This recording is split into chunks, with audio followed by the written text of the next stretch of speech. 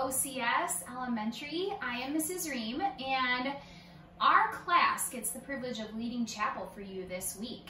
So, we are going to be teaching you on the sword of the Spirit or the Bible and how we can use the Bible and the sword of the Spirit to fight against the temptations of the enemy or the devil. But before we go to our lesson, I have a special worship song for you today, and it is called Famous For by Tauren Wells, and it is a really powerful song that can teach us about some things with the sword of the Spirit and that God does for us in our lives. So without further ado, I'm going to introduce my guest to you. You might know her. Hello, OCS. This is Mrs. Crouse. I'm Mrs. Ream's mom, if you didn't know that. And it's so good to be back with you guys today. All right, so here's our worship time. You can feel free to sing along, stand up if you would like, and um, spend time with the Lord today during our song.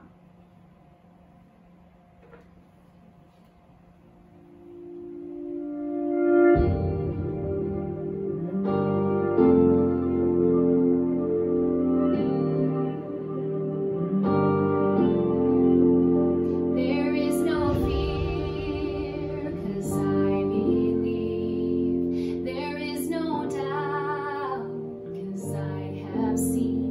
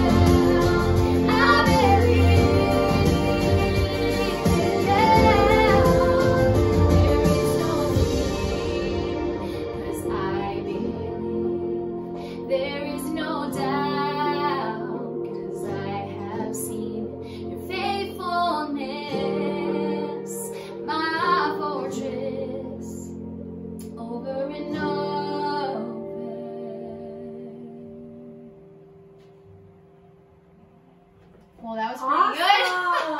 I think it's a keeper.